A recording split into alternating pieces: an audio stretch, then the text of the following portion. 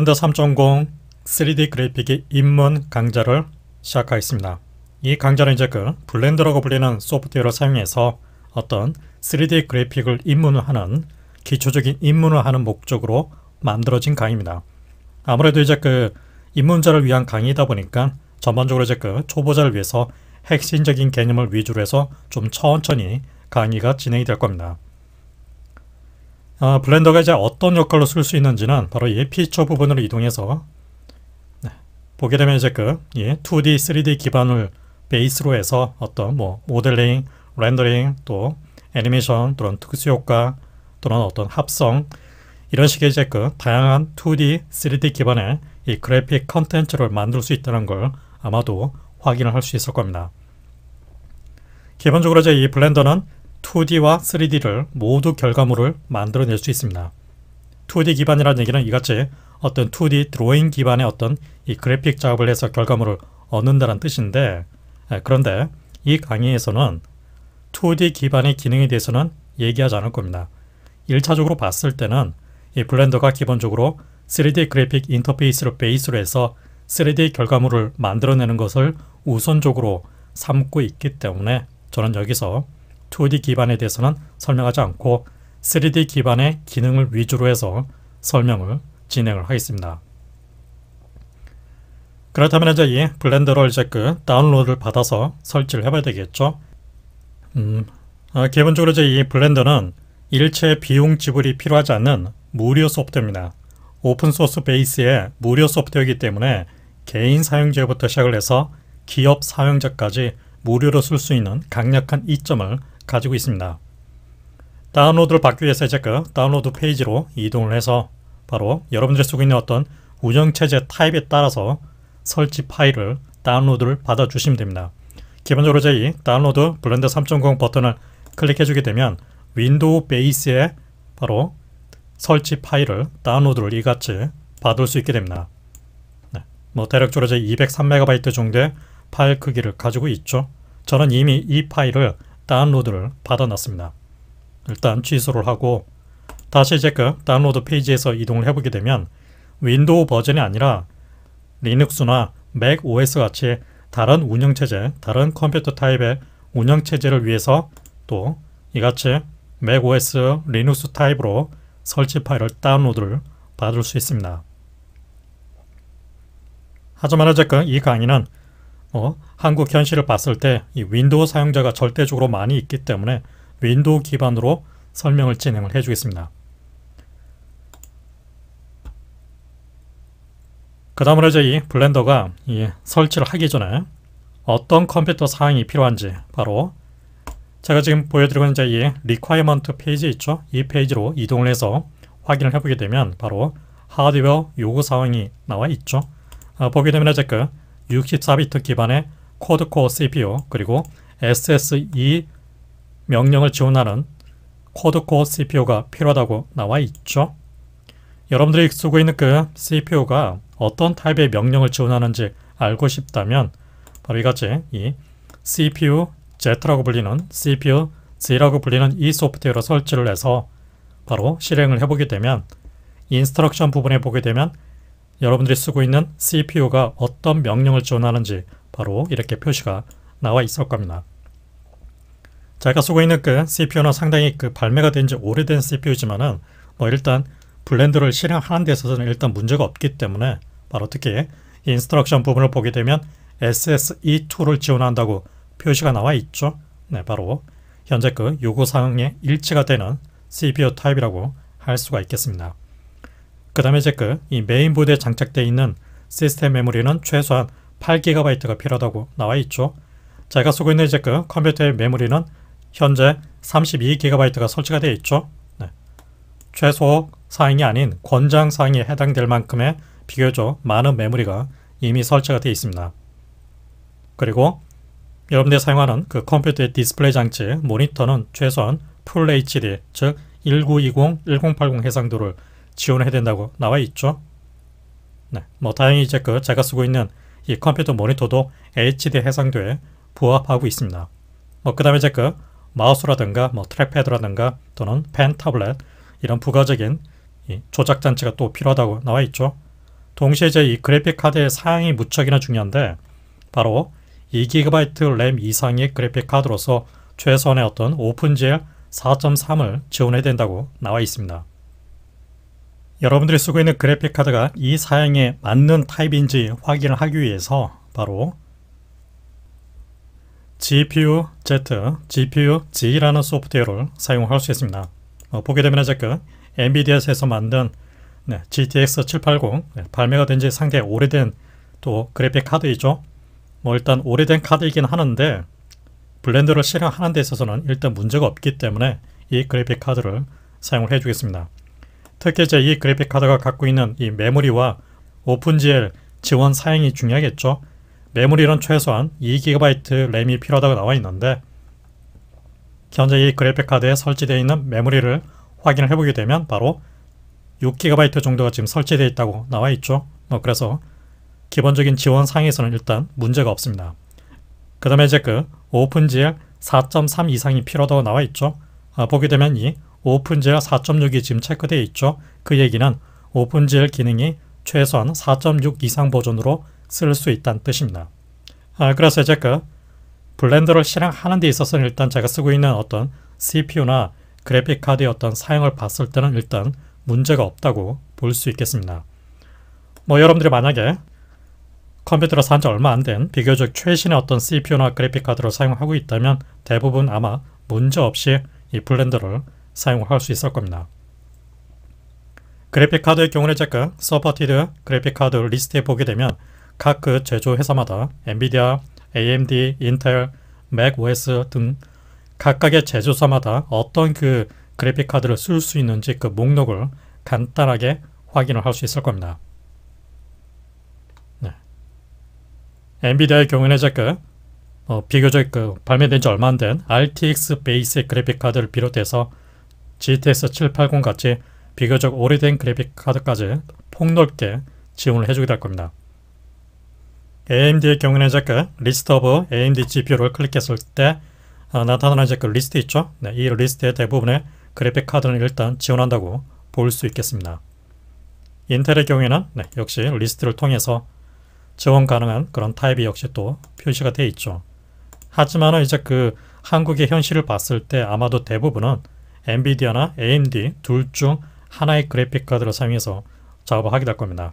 일단은 그 어떠한 그 타입의 그래픽 카드를 쓰시든 간에 그래픽 카드의 메모리가 최소 2GB 이상이면서 오픈GL 4.3 이상은 지원하는지 꼭 확인을 해 주십시오. 최소 사양은 이제 뭐 이와 같고 이 권장 사항은 코드코어가 아닌 8코어, 네, 8코어 이상의 64비트 CPU, 32GB 램 이상 또 그래픽 카드는 최소 8GB 램이 또 필요하다고 또 나와 있죠. 네.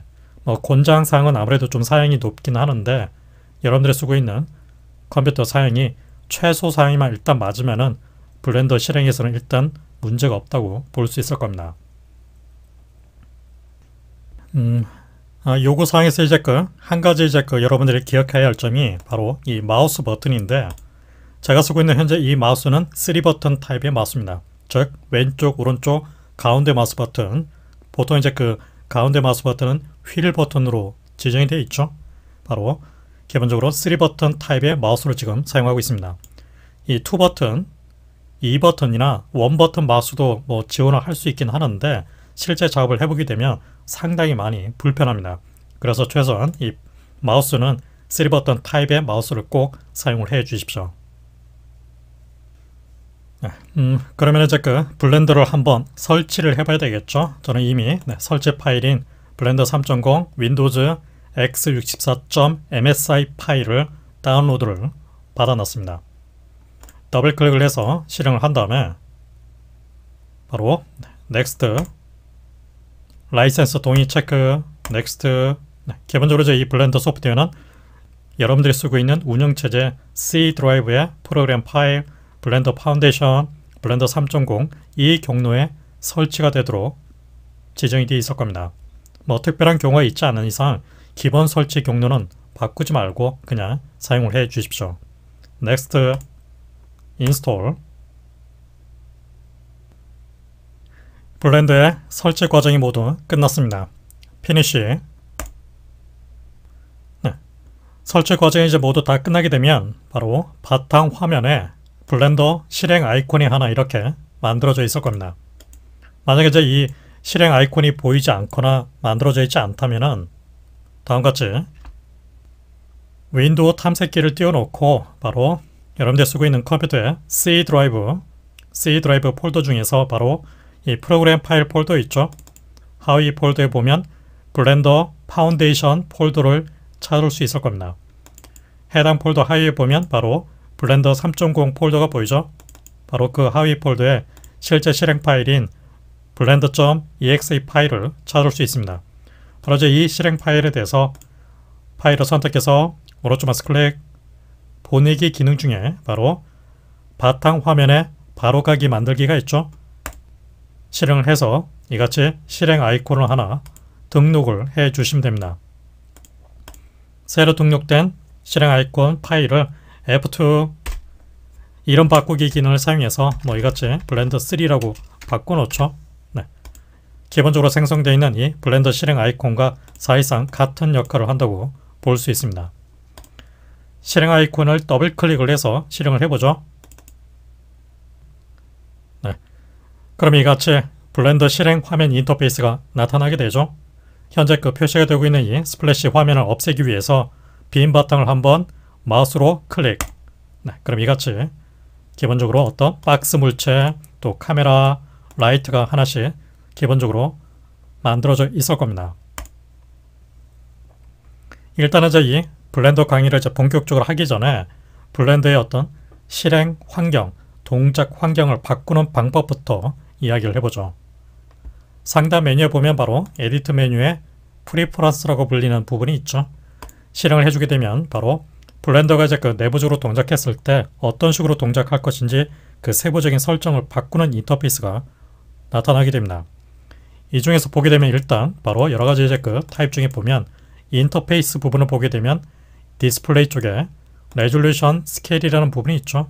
바로 현재 이 값이 1.0으로 되어 있는데 이 값을 마우스 커서로 가리킨 다음에 클릭 좌우 드래그를 해주게 되면 어떻게 되죠? 숫자가 커지면서 이제 그 인터페이스 크기가 네, 점점점 어떤 메뉴라든가 글씨의 크기가 커진다는 걸 알 수 있죠. 네, 이같이 반대로 클릭 왼쪽으로 드래그를 해주게 되면 반대로 숫자가 작아지면서 메뉴나 글씨가 점점점 작아진다는 걸 알 수 있습니다. 네, 이같이 단순히 이제 그 클릭 좌우 드래그뿐만 아니라 단순 클릭을 통해서 숫자를 직접 타이핑을 해서 바꿔놓을 수도 있습니다. 1.2라고 입력하고 엔터 네, 그럼 이제 뭐 대략적으로 이제 원래 1.0 배율에 비해서 20% 정도 크기가 커져 있는 상태가 만들어지게 될 겁니다. 아, 제가 보기에는 이1.2 정도의 이 배율이 적당히 보이는 것 같습니다. 그래서 일단 Resolution Scale 값은 1.2로 세팅을 해 놓겠습니다. 그 다음에 저희 지금 이 화면에 표시가 되고 있는 이제 이 언어 타입이 있죠. 바로 아래쪽에 보게 되면 Translation이라는 부분이 있죠. 이 부분에 보면 Language가 지금 이제 그 화면에 설정되어 있는 언어 타입이 이같이 영어로 설정이 되어 있을 겁니다. English. 다른 언어 타입이 필요하다면 뭐 예를 들어서 독일어, 프랑스어, Italian 뭐 이런 식으로 또 선택을 할 수도 있죠. 아, 동시에 이제 그 바로 한글도 선택을 할 수 있죠. 바로 Korean. Korean으로 이제 그 선택을 해주게 되면 보시다시피 이제 그 글자가 좀 깨져서 표시가 되고 있죠. 일단은 다시 영문으로 English로 일단 바꿔놓고 바로 Text Rendering 부분을 보게 되면 인터페이스 폰트가 바로 다음과 같이 한글을 지원하지 않는 타입으로 아마도 설정이 되어 있을 겁니다. 옆에 있는 이제 이 브라우저 버튼을 클릭해서 바로 이제 그 한글을 지원하는 폰트를 선택을 해 주십시오. 저는 여기서 이제 그 한글을 지원하는 폰트 네, 이 Search Field Box 기능을 사용해서 GU라고 검색을 했을 때 나타나는 바로 네, 굴림 Regular를 선택을 해보죠. 더블 클릭 네, 그럼 이같이 이제 그 폰트 모양이 바뀌게 되겠죠. 이 상태에서 다시 Translation의 Language 타입을 English 대신에 한국어로 바꾸게 되면 바로 이같이 모든 인터페이스가 이제 한글로 바뀌어서 나타난다는 걸 알 수 있죠. 네. X 버튼을 눌러서 닫아서 이제 확인해 보면 어떤 물체를 클릭해서 선택했을 때 나타나는 이런 인터페이스를 보게 되면 한글로 그대로 한글 상태로 만들어지게 됩니다. 네. 이같죠. 아, 하지만 이제 그 저는 예, 지금 이 강의를 진행하는 동안은 한글 인터페이스 기능을 사용하지 않을 겁니다. 아무래도 이제 그 이 블렌더 자체가 이미 영문을 기준으로 설계되어 있는 소프트웨어이고 또 블렌더와 관련된 여러 가지 그 자료 측면에서 봤을 때 한글로 만들어져 있는 자료보다는 영문으로 만들어져 있는 자료가 절대적으로 많이 있기 때문에 이 블렌더의 기본 학습은 한글이 아닌 영문 인터페이스를 기준으로 해서 모든 설명을 진행을 하겠습니다. 다시 이제 그 편집 환경 설정 부분에서 아까 설정해 놨던 인터페이스의 번역 네, 그 타입을 한국어, 한글이 아닌 다시 영어로 바꿔 놓겠습니다. 네. 그리고 다시 Text Rendering 인터페이스 폰트 타입은 그냥 네, 바로 TRE라고 검색을 했을 때 기본적으로 이제 그 쓸 수 있는 바로 Trebuchet MS Regular 타입으로 선택을 해서 더블클릭 네, 이 폰트를 기본 폰트로 사용을 해주겠습니다. 음, 아, 그 다음 설정으로 그 화면 조작 키 방식을 바꿀 필요가 있는데 일단은 다시 Preference 화면은 X 버튼을 눌러서 닫아놓고 기본적인 그 화면 조작 방법 지금 이제 그 화면 중앙에 보이는 이 인터페이스가 바로 Viewport라고 불리는 인터페이스입니다. Viewport 이 Viewport 화면을 바로 여러분들 쓰고 있는 키보드와 마우스 버튼을 같이 조작을 해서 화면을 이리저리 바꿔놓을 수 있습니다. 일단 이제 그 여러분들 쓰고 있는 그 마우스 버튼 중에서 가운데 마우스 버튼이 있죠? 가운데 마우스 버튼을 클릭해서 드래그를 해주게 되면 네, 어떻게 되죠? 이같이 화면이 이제 다른 각도로 회전이 된다는 걸 알 수 있죠? 네. 마우스 가운데 버튼으로 클릭해서 좌측으로 우측으로 이렇게 지금 돌리고 있습니다. 그 다음으로 이제 그 Shift 키를 누른 상태에서 다시 마우스 가운데 버튼으로 드래그를 해주게 되면 어떻게 되죠? 이번에는 화면이 좌우 또는 위에서 아래로 이동한다는 걸 알 수 있죠. Shift 키와 마우스 가운데 버튼을 동시에 눌러놓고 지금 이동을 하고 있습니다. 그 다음에 이제 그 컨트롤 키를 누른 상태에서 다시 마우스 가운데 버튼으로 드래그를 해주면 어떻게 되죠? 화면이 확대, 축소가 된다는 걸 알 수 있죠. 네. 이렇게 이제 그 마우스 가운데 버튼과 Shift 키, 컨트롤 키를 같이 조합을 해서 화면을 바꿔놓을 수 있게 됩니다.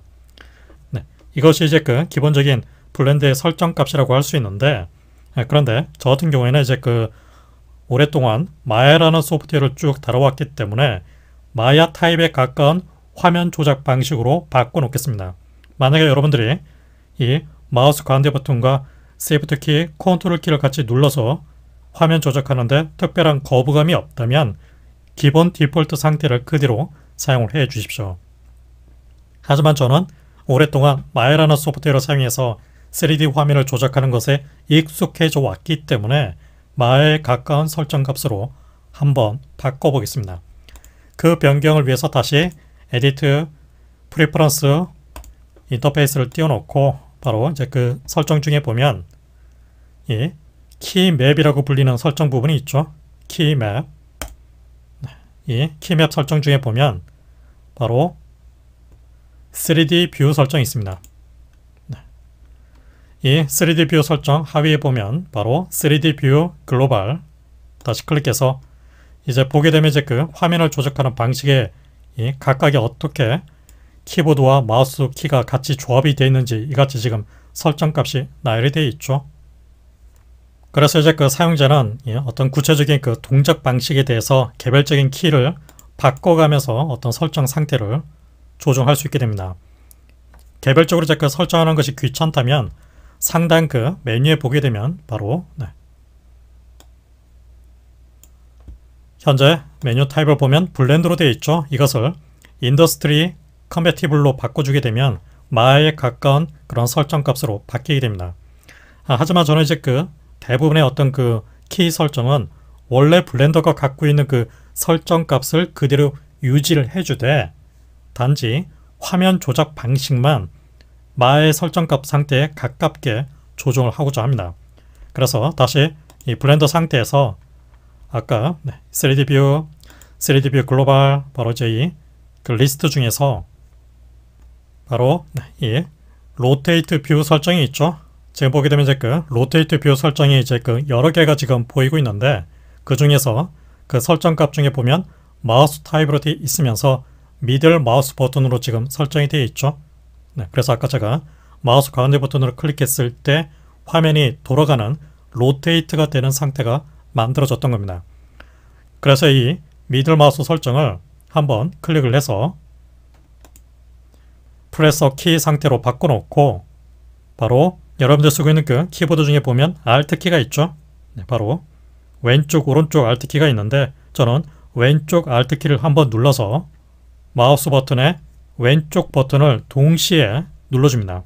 Alt 왼쪽 마우스 버튼 클릭 그러면 Alt Left Mouse로 그 설정이 바뀌게 되죠. 네. 이 상태에서 X 버튼을 눌러서 닫아놓고 이제 키보드 상에서 왼쪽 Alt 키와 마우스 버튼 중에서 왼쪽 마우스를 동시에 눌러서 이렇게 돌려보면 화면에 그대로 Rotate View가 만들어진다는 걸 알 수 있죠. 아까 같은 경우는 그 마우스 가운데 버튼으로 화면을 돌려놨었죠. 하지만 이제 설정 값이 바뀌었기 때문에 Alt 왼쪽 마우스 버튼 클릭 좌우 드래그 방식으로 해서 화면이 돌아가게 됐습니다. 같은 식으로 이제 그 다시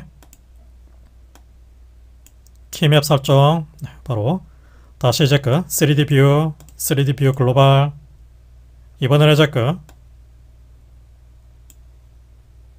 Pan View 설정이 있죠. 바로 그 Pan View 타입 중에 보면 Pan View에서 보면 현재 설정 값이 Shift 키와 Middle Mouse 버튼으로 지금 설정이 되어 있죠. 네, 아까 그래서 마우스 가운데 버튼과 Shift 키를 같이 조합을 했을 때 화면이 이동하는 상태가 만들어졌던 겁니다.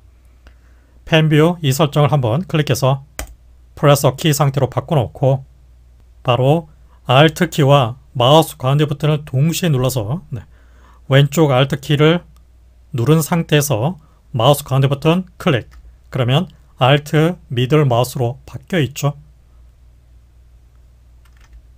그 다음으로 이제 그 바로 Zoom View Zoom View 설정을 보게 되면 뭐 여러 개의 Zoom View 설정이 보일 수가 있는데 저는 여기서 보면 바로 Control Middle Mouse로 설정되어 있는 부분이 있죠.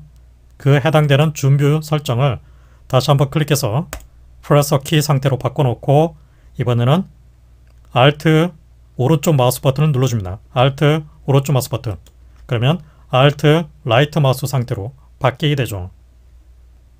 이렇게 해서 이제 그 3D View 조작 화면은 뭐 이렇게 설정이 됐고 그 다음으로 이제 그 3D 뷰가 아닌 2D View 설정도 바꿔줍니다.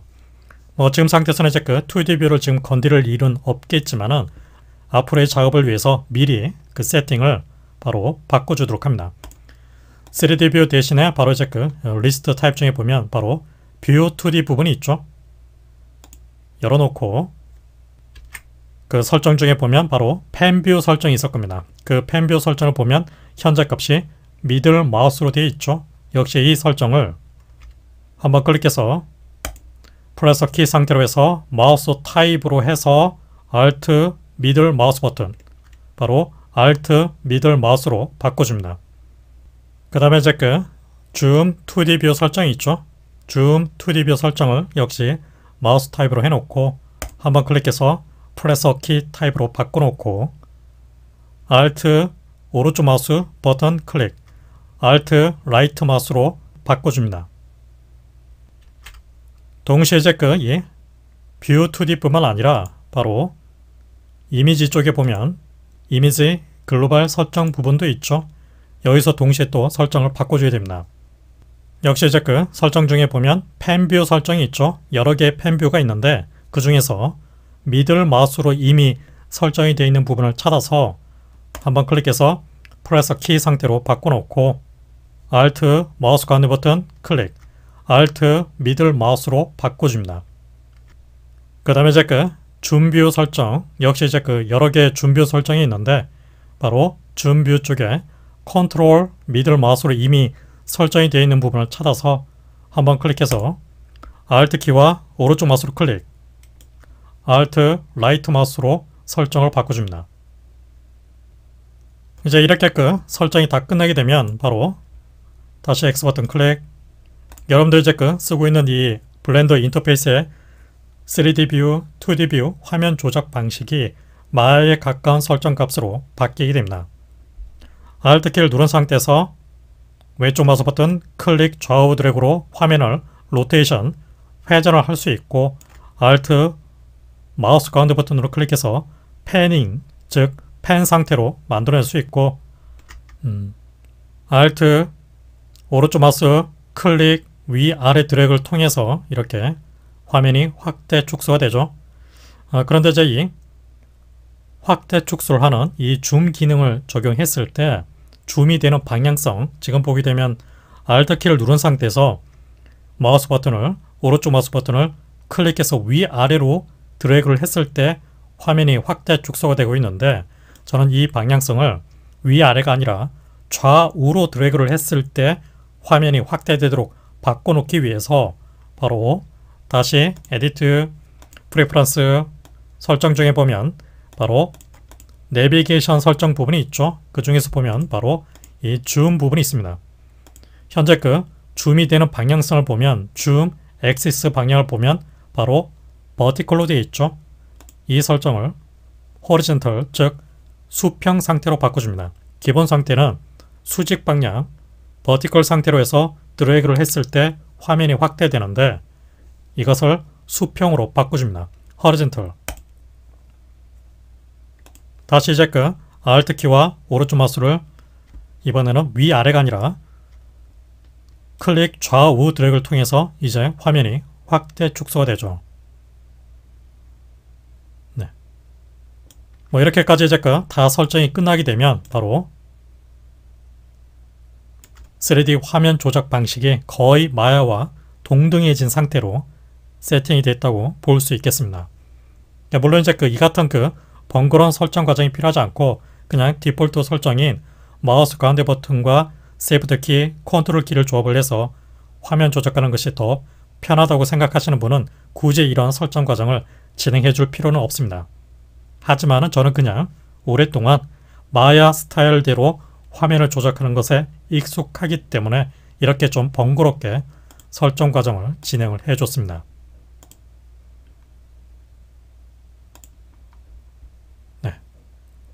이미 이제 그 설정이 되어 있는 부분을 보게 되면 이같이 화살표로 표시가 되고 있죠. 제가 임의적으로 설정 값을 바꾼 속성이란 뜻입니다.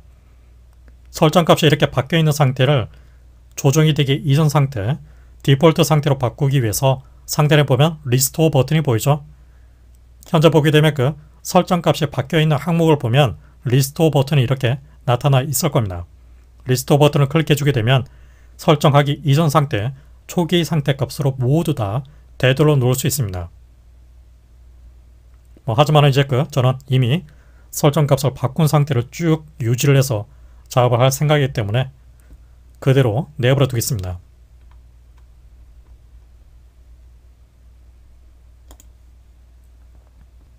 네, 이번 시간에는 여기까지만 설명을 해놓겠습니다.